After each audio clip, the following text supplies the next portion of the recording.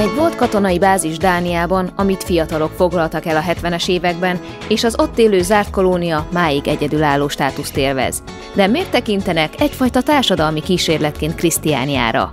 És egy magyarországi közösség, akiknek sokat köszönhetünk az alternatív gyógyászat terén, mégsem tudunk róluk szinte semmit.